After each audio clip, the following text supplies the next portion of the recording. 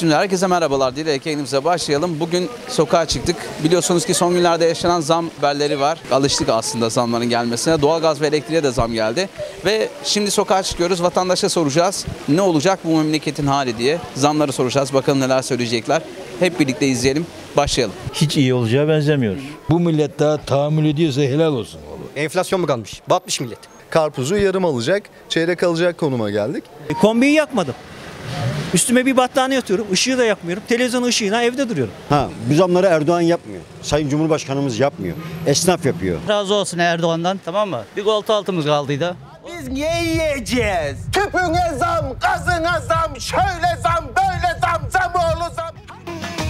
Şekere zam, çaya zam, ekmeğe zam, tuza zam Yandım amanın aman, ateşe zam, köze zam Yandım amanın aman, ateşe zam, köze zam Kahve parasını ödeyeceksin. E, kusura bakma abi 10 lira da. Niye? Kahveye de zam geldi. Kahveye de mi zam geldi? Zamlı kahve. Piştiye zam. Kahveye zam. Zamlı pişti. Zama da zam. Zamlar. Kahveye zam. Zam geldi. Gelen zamlar öyle. Çok vahim durumdayız. Yani esnaf olarak e, gördüğünüz gibi şu saatlerde e, zaten işimiz yok. Ağır faturaların üzerinde esnaf daha da ağırlaştığı için yani gelecek günler çok daha korkutucu bizim için. Ne olacak bu memleketin hali? Asıl sorumuz Ne bu. olacak tabii. Me- Bizce e, çok acil erken seçim olmalı. Değişmesi gerekiyorsa değişmesi, yönetilemiyorsa yönetilmeyenler e, yer değiştirmesi gerekiyor. Memleketin hali hiç iyi olacağı benzemiyor. Ve zaten iyi olması da mucize olur. Allah yardımcımız olsun. Emeklilik var mı? 4 3 tane emekli. Nasıl geçim? Onu sormak gerekiyor aslında. Vallahi- Geçinebiliyor musunuz?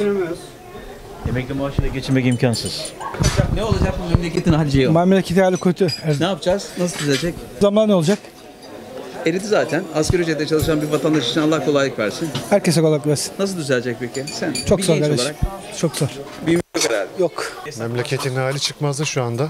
Esnafın hali de kötü. Yüzde kırk doğalgaza, yüzde on beş elektriğe zam. Bütün ürünlere zam şu anda.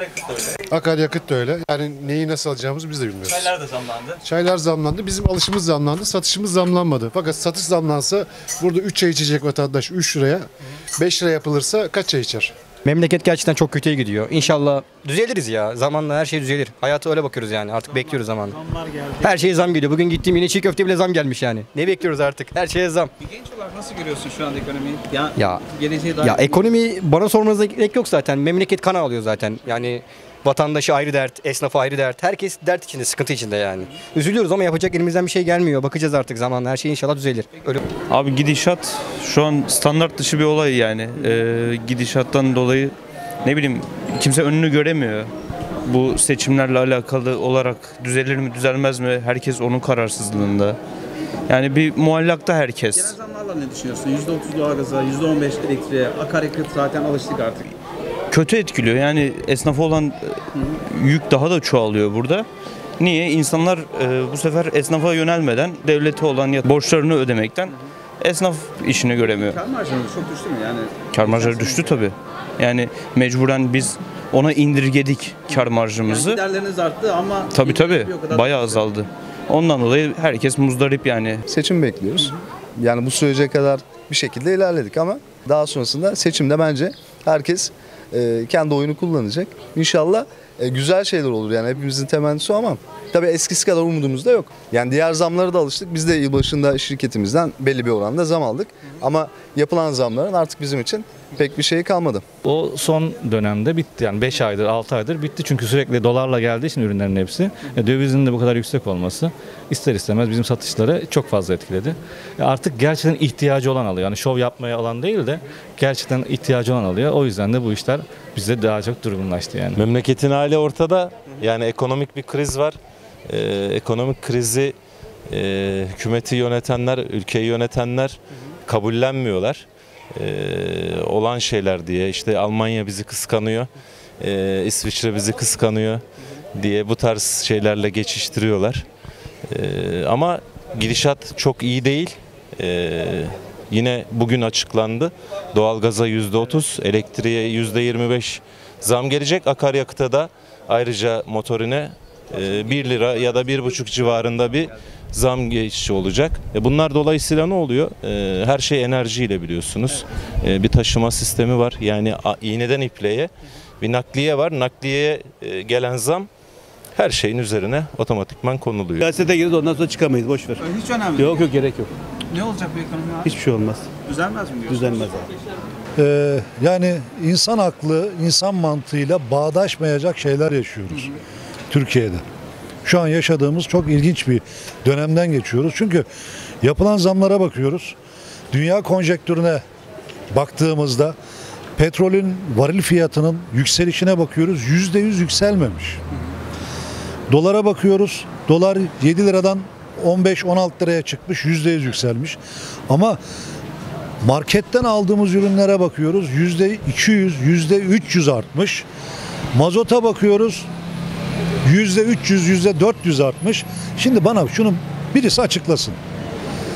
Yani nasıl oluyor da e, dolara endeksli yaşadığımız bir dünyada ve petrole endeksli yaşadığımız bir dünyada bunlar yüzde yüz artmadığı halde bizim iç piyasada yüzde 400'lere varan artışlar neden yapılıyor?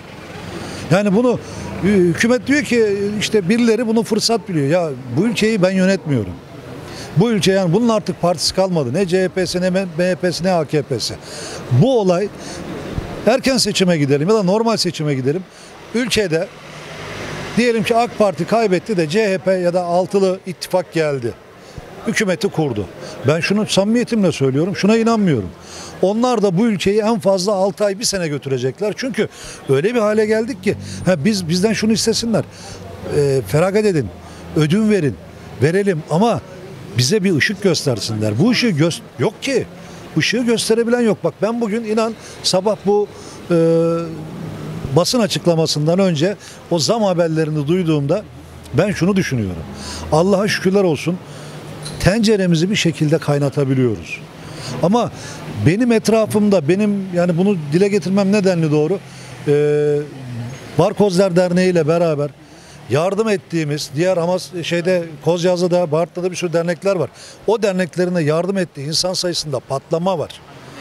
Yani e, ben- şimdi bana kızabilirler. Birileri der ki ya nasıl böyle bir şey söylüyorsun? Ekmek götüremeyenler var dediğin zaman kızıyorlar. Ama gerçekten ekmek götüremeyen insanlar var memlekette. Ya bana kimse şunu demesin.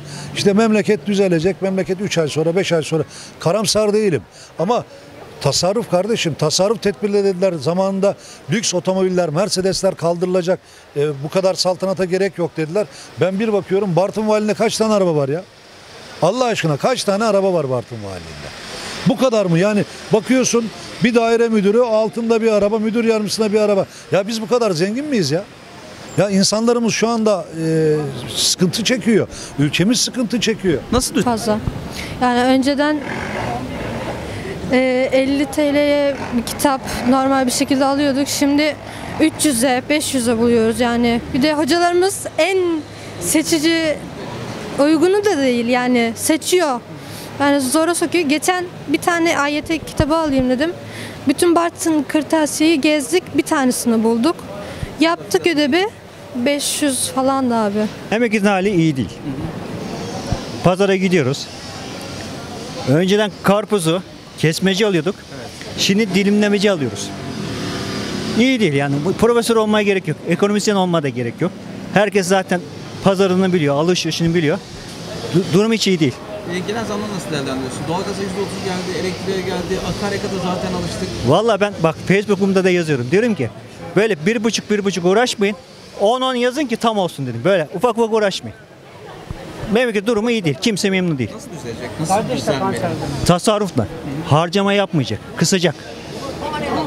Şunu söyleyeyim, vatandaş nasıl kızacak? Vatandaşa yansıyor. Vallahi ben vatandaşa şaşıyorum. Tepki yok. Anca böyle kendi aralarında konuşuyorlar. Şöyle zam geldi, böyle zam geldi. Kardeşim, ülkeyi yönetenlere diyeceksiniz. Eleştirmek suç değildir. Ama ben bunu konuşuyorum. İşte hakkında şey olur, böyle olur, hani gözaltına alınsın. Kardeşim, hakaretle eleştiriyi ayıramam bir milletimiz var. Hakaretle eleştiriyi ayırt edemiyorlar. Bunu ben her zaman söylüyorum. Gerekli mercileri de söylüyorum. Geçenler bir, bir partinin grup başkan e, milletvekili neydi? Grup başkan geldi, vekili geldi. Ona da dedi. Biz de aynı şeyi söylüyoruz dedi. Aynı şeyleri tekrar ediyoruz. Bana dedi laf ne biliyor musun? İktidarın yapmış olduğu bir politika diyor. Bu bence politika değil. Her yer göçmen kaynıyor. Valiliğe gidiyorum. Resmi evrak işlerim oluyor. Her yer Suriyeli kaynıyor. Peş peşe geliyorlar. E bu benim insanım aç. Allah şükür şimdi pandemi bitti. İşler biraz açıldı. Bak pandemi bitti, işler açıldı çok şükür. Ama alım gücü zayıfladı. Alım gücü çok zayıf. Şimdi millet diyor ki asgari ücret yükseldi. Yükselsin. Ama alım gücü düşüyor. düştü. Her 2800 de şimdi kıyaslarsak e, alım gücü çok çok düştü şu an. İnsanlar onu idrak edemiyor. Bak ben onu idrak ediyorum, takip ediyorum. Ama insanlar ekonomisyenleri dinlemiyor. Hep boş ağızları dinliyor. Torba yok. Çoluk çocuk da yok. Ben kendim zor geçiniyorum yani emekli maaşı. Yan gelirli olmasa mümkün değil. TÜİK verileri var. Enflasyon rakamları açıklanıyor. %70'lerde ama TÜİK verilerinin hiçbir tanesinin gerçek olmadığını biz de biliyoruz. Çünkü TÜİK zaten bana esnaf olarak geliyor her ay. Bendeki yemek listelerinin değişmediğini görüyor. Fakat pazara gittiğimizde listeleri değiştirdiğimiz halde pazardaki manavdaki fiyatlarla biz zaten uyuşamıyoruz. Yani buradaki e, enflasyon verilerinin gerçeği yansıtmadığı zaten aşikar ortada. Enflasyon gerçek enflasyon. Hayatın enflasyonu yüzde 80-90. Belki de Bartın için söylüyorum. Ama İstanbul için 120. gelen zamlardan da Türkiye'nin geneline vur yüzde 100. Ortalama. Ama yüzde 20, yüzde 30, yüzde 50 diyen de var. TÜİK'in açıkladığı rakamlara hiçbir şekilde bir vatandaş olarak da inanmıyorum. İnanacak bir tarafı da yok. Peki Çıkarma toplamayı bilen bir insan buna inanması sürpriz olur yani. Valla enflasyon şu anda belki 3 rakamlara doğru tırmanıyor herhalde artık. 2'yi de geçtik, 3'e çıkıyor. Ya söylemeye gerek yok ki zaten. Herkes kendine göre bir şey açıklıyor. Her şey ortada zaten. Caddeye çık millet kan alıyor. Enflasyon mu kalmış? Batmış millet. Yazık günah. Başka bir şey demiyorum. Cebimize yansıyan hatta az önce işte karpuz muhabbetini yaptık ya. Yani karpuzu yarım alacak, çeyrek alacak konuma geldik. Ondan dolayı tabi bilmiyorum o veriler ne kadar doğru ne kadar yanlış ama e, vatandaşın cebine yansıyan çok daha farklı. Şu an e, %300 civarı. %300 civarı. O TÜİK'in açıklamış olduğu enflasyon oranları toplu iğneyle enflasyon oranı ölçerseniz, e, raptiye ile enflasyon, pimpon topuyla enflasyon oranı ölçerseniz 65 olur. Normal yani onların açıkladıkları enflasyon oranları. TÜİK bana mailim dolu. Ben bakıyorum sabahtan akşama kadar benim mailimde devamlı yukarıdan aşağı TÜİK TÜİK TÜİK. Ya artık ya yapmasınlar bunu ya. Ya komik oluyorlar. Yani oradaki arkadaşlarımızın var ya o verdikleri verilere inanmadıklarını adım gibi biliyorum. Çünkü komik ya. Ya hangi ülkede yaşıyorsunuz kardeşim? Sabah bu TÜİ'ye girdiğinizde Bismillah diye kapıyı açıyorlar, TÜİ'ye giriyorlar. Bize yalan yanlış bilgileri atıyorlar. Bir çıkıyorlar gerçek hayatla yüzleşiyorlar. Onlar da gerçek hayatın içinde yaşıyorlar. Ama yalan yani yüzde yirmilerde, yüzde otuzlarda enflasyon açıklanan bir yerde. Ya bana Allah'ını seversen mazot şu anda kaç para ya? 25 lira. 7 liradan bir mazot e, 25 liraya gittiyse aradaki 7, 14, 21 yani 4 tane 7 var orada. 4 tane 7'nin olduğu yerde sen tutup da bana %70, %80 enflasyon açıklarsan ben güvenmem. Ben esasında devletime güvenmek istiyorum. Ben devletim ya ben hepimiz biz devletiz. Biz güven güven istiyoruz. Ama ne oluyor? Devletin e, mercisine güvenemiyoruz. Böyle bir saçmalık olur mu ya?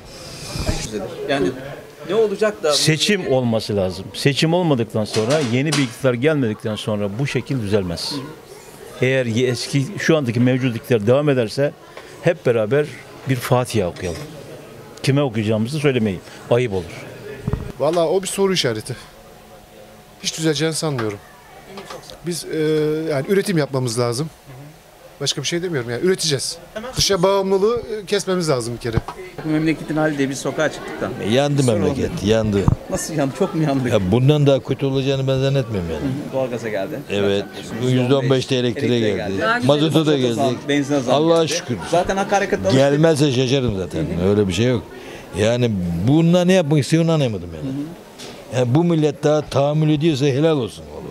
Vallahi. Yani en iyi ekonomist yani vatandaş. düzelmesi için ekonomi seçim olması mı gerekli yoksa farklı bir Derhal hemen beklemeden şş, hemen yapılması. Sizce ne kadar zaman düzelir bu ekonomi? Vallahi iki senede düzelir.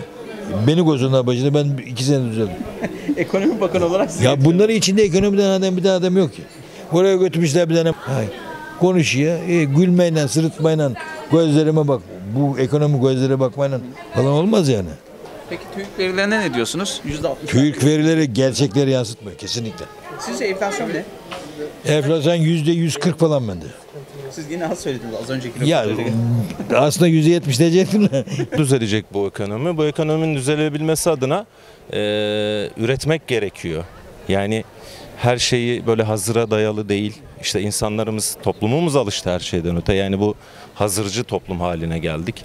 İşte e, toplum, aile yapısı bozuldu. İşte geçmişten bugüne, geleceğe e, aileler şunun derdinde. Ya biz eziyet çektik, çocuklarımız eziyet çekmesin diye 81 Eylül üniversite açılırsa 81 Eylül'de e, okuyan öğrenciler e, şu anda sokakta gezen mühendislerimiz var. E, boşta gezen bir sürü okumuş e, öğrenci arkadaşlarımız var. E, işsizlikten bahsediliyor. E, kalifiye personel zaten kendini bir şekilde yetiştirip bir yerlere oturtturuyor, yerleştiriyor. Ama ne yazık ki e, sadece toplum üretme, e, tüketim toplumu olduğundan ötürü tarımı, hayvancılığı, e, hububatı kendimiz üretmediğimiz sürece, e, yatmaya devam ettiğimiz sürece bu ülke hiçbir şekilde düzelmez. Herkes kendine bakacak öncesinde. E, kendi biz ne yapıyoruz, neydik, şimdi e, ne haldeyiz diye e, sol- sorgulaması gerekiyor. E, eğer ki üretirsek tekrardan bu ülke e, ayağa kalkar, eski Türkiye olur yani. Abi başta ben olsaydım çok güzel cevaplardım da başta ben olmadığım için cevaplayamıyorum. Yanlış anlamayın Sen beni. olsaydın fikrin ne olur? Ne, ne yapardın? Fikri- mesela? Ya- O zaman sana sorayım. Ya toplanmamız lazım. Vatandaşlarımızla el birlikte olmamız lazım. Yani birlikte yani konuşmamız lazım. Bu işin altına girmemiz lazım. Gençlerimizin yani geleceği yok. Çocuk üniversite okuyor. Yani mühendislik okumuş. Çocuk markette, şokta bir yerde çalışıyor. Yazık yani. Yazık günah. İlerlemiyoruz yani. Üzülüyorum. Ben 26 yaşındayım. Yazık yani. Üzülüyorum. E, çalışıyor musun peki? Çalışmıyorum. iş yok. Bulamıyorum. Çok zor yani. Hayat gerçekten çok zor. işsizsin? 5 aydır işsizim. Peki nasıl geçimini sağlıyorsun?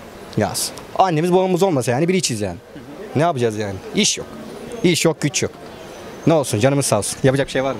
Yani bence Türkiye'de zaten ciddi reformlar yapılması lazım. Hem üretim anlamında. Ee, herkesin kenetlenip Türkiye adına hani o parti bu parti için demiyorum. Yani herkesin kenetlenip Türkiye adına bence bir adım atılması gerekiyor. Çeşitli reformlar alınıp ee, yani üretim anlamında özellikle. E, Çünkü Türkiye coğrafi olarak çok iyi bir noktada ama benim gördüğüm değerlendiremiyoruz. Valla bak şimdi Türkiye'nin e, bu ekonomiyi sadece ekonomi olarak alırsan Türkiye'nin bulunduğu coğrafyayı yanılırsın. Yani şu e, Orta Doğu'daki o coğrafyada ya dış güçler ha dış güçlere katılıyorum var. Hani Cumhurbaşkanı dış güçler derken var ama benim içeride içerideki yağın fiyatını onlar belirlemiyor. O yok.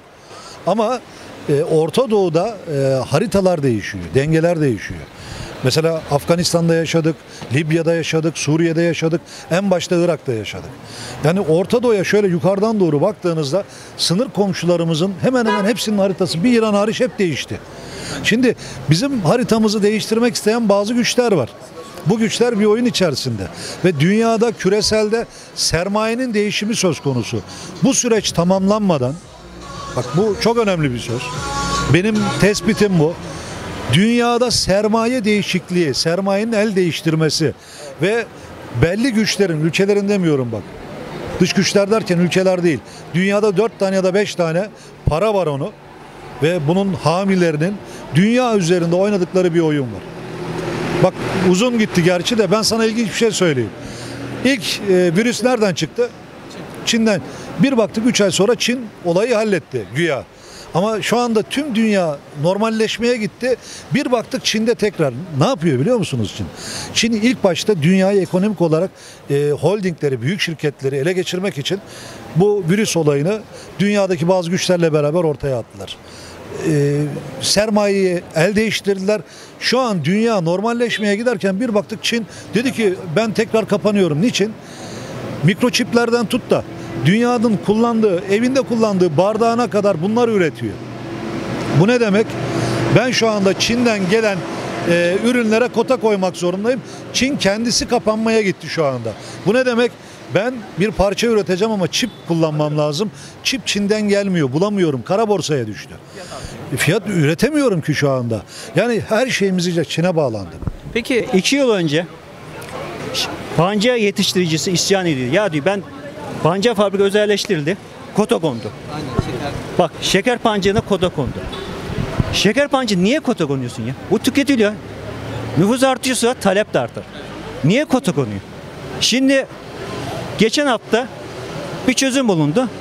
400 bin ton şeker ithal edilecek. La bu sen pancarı öldürmüşsün Afyon'daki. Bak Afyon'daki çiftçiyi öldürüyorsun. Bezdiriyorsun. E şimdi ne fabrikalar üretmiyormuş. Neden üretmiyorsun? Neden kota koyuyorsun? Eskiden uçak fabrikalarını engelliyorlardı. Şimdi şeker üretimini de engelliyorlar. Açlığa gidiyor. Sonra da millet çıldıracak. Bak görürsünüz. Şu anda psikolojik olarak sorunlar yaşayanlar var zaten günümüzde. Yaşar abi. Geçinemiyorsun ki. Oradan kız, buradan kız artık kısacak bir şey kalmadı ki. Psikoloji insanlarda psikoloji bitti. Günebirlik şey yapıyorlar. Hep böyle. TÜİK verileri nasıl değerlendiriyorsunuz? Düşünsene Nisan ayında %70 ortalama açıklandı enflasyon rakamı. Sizce enflasyon ne, ne kadar şu anda? Ben bir şey diyeyim mi? TÜİK'in verileri bir saniye. Bir dakika. TÜİK'in verileri tam bir komedi. Ya bu millet bilmiyor mu ya? Ben de biliyorum yani belli. 5 ay 6 ay önce benzin ne kadardı? Bugün kaç para? Bak hala geliyor. Haftada iki defa zam geliyor. Geldi bile bir Haziran'da geldi. Geldi bu akşam geldi bugün. Bu akşam değil geldi zaten. Daha dün akşamdan haber geldi o. Ya sorun burada bak birbirimizi yapıyoruz. Abicim yetkililere söylememiz lazım. bunu. Abi seçim zamanı geliyorlar. E ben şimdi düşünüyorum ulan bunlar nasıl böyle o isteyecek milletten. Memleket e, kötü değil bence. Neden kötü değil? Bu zamları Erdoğan yapmıyor. Eğer yayınlarsanız bunu. Bu zamları, Yayınlar mısın? ha, bu zamları Erdoğan yapmıyor. Sayın Cumhurbaşkanımız yapmıyor. Esnaf yapıyor. Bak düne kadar 40 liraydı. Elektriğe %30, e, elektriğe %15, doğalgaza %30, akaryakıta gelen zamlar var. Bu zamları esnaf mı yapıyor? Onları esnaf yapmıyor ama esnaf veya halk e, o petrolün e, varilinin kaç ne kadar olduğunu, kaç dolar olduğunu aldığını bilmesi gerekir. Eğer devlet 20 liradan misal e, alıyorsa 18 lira mı versin millete? Yani verebilir mi? Öyle bir şey var mı? Ama şöyle bir şey var. E, şunu söyleyebilirim size. E, esnafa gelen e, tüm ürünler akaryakıt olarak geliyor. Elektriği kullanıyor, doğalgazı kullanıyor. Bunun yansıtmak zorunda. Hani bunu fırsatı çeviren esnaf var mıdır? Elbette vardır ama bunu sadece esnafa yapmak ne kadar doğru? Şimdi tamam doğru söylüyorsun. Her şey petrolden gidiyor, dolardan gidiyor. Tamam bir şey alırız, bir elektrik bir şey alırız, dolar deniyor. Tamam da bunların üstlerine bindiler. Şimdi ben geçen gün manava girdim, kapalı pazar yerine girdim. Daha düne kadar 40 liraydı domates, pat, patlıcan öyleydi, patates öyle bilmem neydi. Şimdi niye 5 lira? Ne oldu? Seralara şey mi geldi, tufan mı geldi? Sel mi götürdü? Ne oluyor bu esnafa? Ben bir koli bant şey aldım, koli e, ipliği. 10 lira dedi. Yan tezgah dedim 8 lira dedi. Ondan o dedi, ona gittim 5 lira dedi. Döndüm geriye bu dedim 10 lira bunu Erdoğan mı yaptı? Ee, yaptı. Olmaz öyle şey. Yok öyle bir şey. Emekli misiniz? Emekliyim. Geçinebiliyor musunuz emekli? Ne kadar emekli maaş alıyorsunuz? Ben 4 4000 TL alıyorum. Geçinebiliyor musunuz şu anda? Kafa kafaya gidiyorum. Ama e, bunu sabretmek lazım bu olayı. Biraz da beklemek lazım. İnşallah düzelecek. Nasıl sebzelere meyveler şu hale e, üçte bir şeye düştüyse, üç- yüzde, yüzde otuz, yüzde yetmiş diye bir durum düştüyse bu da düşecek. Sabretmek lazım. Ben her şeye e, Sayın Cumhurbaşkanımıza yüklemek doğru bir şey değil. Ama esnaf yanlış yapıyor. Ben esnafları çok analiz ediyorum. Çok dikkat ediyorum. Ve geçen gün pazarın içine de aykırdım ettim. Yazıklar olsun size dedim. Şimdi niye dedim bu 40 liradan 5 liraya düştü. Salatalık 5 lira. 40 liraydı geçen daha 10 gün önce 40 liraydı. Nasıl oldu bu? Bunun açıklamasını siz bana yapar mısınız? Ben bir şey diyeceğim ya. Amca bir şey soracağım. Amca 2016 yılında bak Amerika ile Rusya zıt gitti. Amerika talimat verdi krala. Selman'a dedi ki petrol vali fiyatını düşür dedi. 110 dolardan 30 dolara düştü. 2016 yılında bak ben bunları iyi takip ediyorum. Doğru söylüyorsun. 80 do- dolar indirim yapıldı. Bizim piyasaya yansıtılmadı. Tamam. O, o ne olacak? Çünkü Tamam doğru söylüyorsun. mantık ne biliyor musun? Çıktı mı inmez kardeşim. Şimdi ben size- Şimdi ben size bir şey söyleyeyim. Amerika bine, birden ne dedi? Biden. Bak birden diyorum. Bak şimdi ben ona başka türlü söylüyorum. Ne dedi? Ben dedim Cumhurbaşkanını siyasetle indireceğim. Ve elinden geleni yapıyor. Muhalefetle beraber elinden geleni yapıyor. Yani muhalefet bu Cumhurbaşkanı'na ve Türkiye Cumhuriyeti'nin vatandaşlarına daha güzel faydalı olmak varken niye kışkırtmalara giriyor? Neden? Yani kendi şimdi Menderes 4 dönem aldı. 450 milletvekilinden bir kişiye milletvekili vermedi. Adamı en sonunda indirdiler ve astılar. Şimdi sıra buna mı geldi? Bunun, bunun için mi uğraşıyor? Bunu indirmeye mi çalışıyor? Ne yapıyor bu adam? Bu adam ne yapıyor? Evet her şey pahalı. Bir anda bir şeyler oldu. Ama bu Erdoğan'ın elinde yapılan bir şey değil. Bunu dış ülkeler kışkırtıyor. Ortalığı kışkırtıyor. Bir, bir şey, telaş çıkarıyor Türkiye'nin içinde. Kargaşa çıkarmaya çalışıyor. Ama yemez. Erdoğan'ı kimse indiremeyecek. Bak ben Erdoğan şey değilim ama kimse indiremeyecek. Bu kadar iyilik yaparken gidin o tabanları görün. Bu kadar iyilikler yapılırken, bu kadar güzellikler yapılırken bir anda böyle şey olmak Allah bile buna razı olsun. Şurada zaten vatandaşın o yaptıklarıyla ilgili sorun değil. Şu anda vatandaşın en büyük derdi ekonomik olarak geçinememek. Yani en büyük sıkıntısı o. Büyük Ondan yani, evet. müzdaripler. Bu yüzden eleştiriyorlar. Yani bu kişisel olarak değil aslında eleştiriler. doğru. Eleştiriler vatandaşın cebindeki paranın azalması, giderlerinin artması. Muhakkak. Şimdi halk da haklı. Şöyle diyor mesela yollardan bana ne ben geçmiyorum etmiyorum ama vergisini ödüyorum şu ediyorum diyor. Ama Türkiye Cumhuriyeti'ne yapılıyor bunlar. Köprüler yapılıyor, şu bu yapılıyor. Elbet bir gün onlar da geçecek. Geçecek ama bir sıkıntı var. Evet bunu kabul ediyorum. Ben sıkıntı çekmiyorum değil. Ben mesela 3 bin alırken rahat geçiniyorum. Şimdi 4 bin, 4 küsur alıyorum gene rahat geçinemiyorsun. Ayrı mesele ama sabrediyorum. Sabrediyorum. Ben ben bu vatandaşlardan yani insanlar Türkiye Cumhuriyeti'nin bu bayrağın altında yaşayan insanlardan, e, arkadaşlarımdan ben rica ediyorum sabretsinler. Her şey düzelecek bak eminim. Her şey düzelecek. Sabretmek lazım ama günahtır ya. O zaman madem ya bu ne kadar bir zaman sürer düzelmesi? Sizin görüş açınız. Ben ben görüş açım şu bak. Bir ay içinde her şeyin düzeleceğine çok eminim. Bir ay içinde. Bir ay içinde. Bir ay içinde her şeyin düzeleceğinden ben eminim. Bir ay içinde ne yapılacak da memleket düzelecek? Ha, onun analizine giremedim. Ama gidişat onu gösteriyor. Yavaş. Eğer bu sebzeler, meyveler, şunlar bunlar bu kadar aşağı düştüyse %70 aşağı düştüyse elbette her şey düzelecektir. Onlar da petrolden geliyor. Kamyonlarla geliyor. Doğru onlar da geliyor. E şimdi ne oldu da kamyon şimdi havadan mı geliyor onlar? Gene kamyondan geliyor. Ne oldu da şimdi 5 Şu olabilir mi düşmesinin sebebi? Ee, biliyorsunuz ki seralarda üretim var. Ama o üretilen salatalık şu anda vatandaşların yani köydeki insanların da seralarından, bahçelerinden çıkmaya başladı. Yani mal çok fazla oldu. Onu çok onu çok güzel söylediniz. Bakın ben e, devletin ben başında olsam ben bir kere hali kaldırırım. Hal diye bir şeyi kaldırırım. Ben devlet olarak köylüden malı alırım, getir bana derim. 3 lira alırsam 5 lira satarım ama böyle pahalı satmam. Hale geliyor. Hal ne yapıyor? 1 lira şey 1 lira alıyor şey patatesi 5 lira satıyor. Bir daha sefere 7 liraya geliyor. Manava gelince kadar 10 lira oluyor. O da 15 lira satıyor. O da haklı bak. O, o da 15 lira satıyor. Hal kanununu kaldıracak, kanun gelecek. Hal kanununu kaldıracak. Hal e, sömürücüdür, köylüyü sömürücü bir merkezdir. Hal, her şey halden geliyor. Bak, bu insanların zulüm çekmesi halden doğru geliyor. Bütün hal yapıyor bunu. Patatesi 1 lira çöpe döküyor köylüler. E, tamam 1 lira alıyorsun. Ama sen sen manavcılık yapıyorsun 6 liradan alıyorsun. Öteki ona veriyor. en son bana veriyor. O da 10 liradan satıyor. 1 liralık şey %90 zam oluyor. Ne oluyor? Bunun zulmünü kim çekiyor? Halk çekiyor. Bunları düzeltelim. Bunlar düzeldikçe bu halk da düzelecek ve rahatlayacak ve feraha kavuşacak. Ben Cumhurbaşkanı'ndan biliyorum ki bunlar olacak. Çok iyiliklerini gördük. Yani bir bu kadar sıkıntıya girmişsek kötülemenin de bir anlamı günahtır. Bak adam 20 sene önce ne dedi şimdi hali şu haline bakın. Biz iki tane evlatla uğraşamıyoruz. 84 milyonla uğraşıyor. Amcam bak Ben- amcam. Buyur, buyur. Ben bir şey soracağım. Tabii, Bak, buyur. 3 yıl önce şeker pancarını üretimi kota koydular. Neden kota konuyor? Bak Bunu ben, biz kota 3 yıl önce satıldı. O kota değil onu da açıklayayım. Özelleştirildi. Onu da açıklayayım. Açıkla. Bakın ben devlet dairesinden emekliyim. Büyükşehir Belediyesi'nden emekliyim İzmir. Neyse onu söyle. Şimdi ben bir ay o f- devletin şeker fabrikalarında veya devlete bağlı yerlerde bir ay işe gitmeyip ay sonu maaş çeken insanları ben şahitim.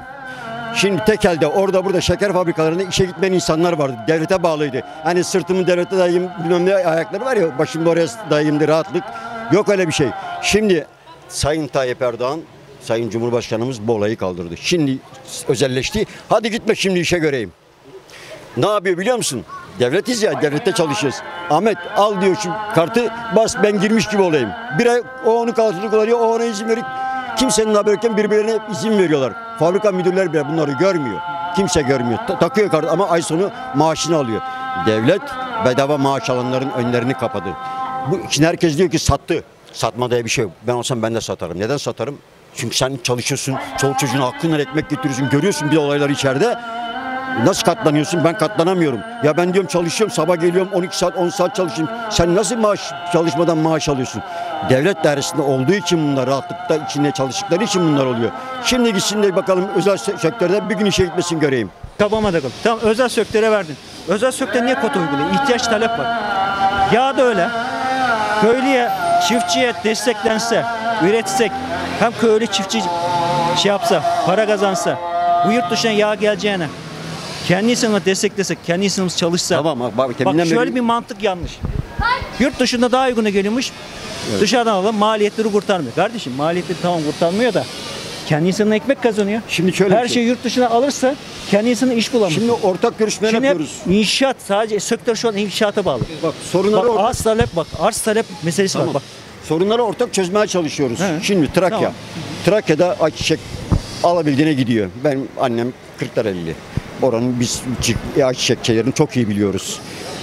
Yağlar bir anda saklandı. Kim sakladı? Esnaf sakladı.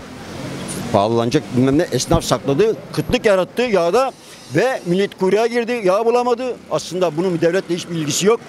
Devlet 17 gemi Rusya'dan getirdi yağları. Bütün rafa çıktı. Bütün şeyde marketlerde yağlar rafa çıktı. Para etmeyecek diye korktular. Hepsini rafa çıkarttı Erdoğan. Neden? Niye saklıyorsunuz milletten yağı? Bütün her tarafta yağ oldu. Raflara yağ doldu. Bir tane bulamıyordun. Bir tane bulamıyordun. Ne zaman gemiler gelmeye başladı? ithal oldu. Gemiler Sayın Cumhurbaşkanımız Rusya'dan ithal etti gemileri, yağları. Ondan sonra bütün marketlere raflar yığıldı. Ne oldu? Dinsizin aklında imansız geride bir laf var. Ama benim Cumhurbaşkanım da imanlı. İman gücü de var. Ama fiyatlar çok arttı ama. Evet arttı.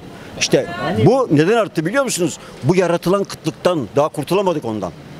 Bu kıtlıktan bir artma olarak etiket kondu. Daha o etiketler inemedi doğru dürüst. Ya ben bir şey söyleyeceğim ya. Şimdi amcım gene bazı röportajlara bakın aynı şeyde gidiyor. Evet. Bak şimdi abi şöyle bir gerçek var. Benden yaşça büyüsün. Eskileri daha iyi görmüş insansın. Ben o 66 kadar- yaşındayım. Ha, bak eskileri görmüş insansın. Ben eskileri görmedim. Ben gördüm, yalan çok iyi yok. gördüm ben. Bu Ecevit yağ dönemi Ecevit e, neye girdi? Biz Kıbrıs'a girdik.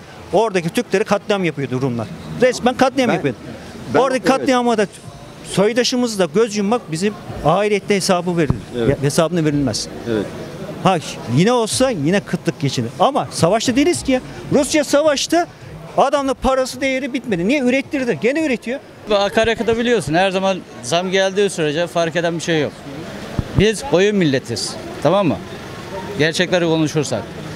Ekonomi uçuyor. Nasıl uçuyor? Soruyorum sana. E, benim cebimde para yok.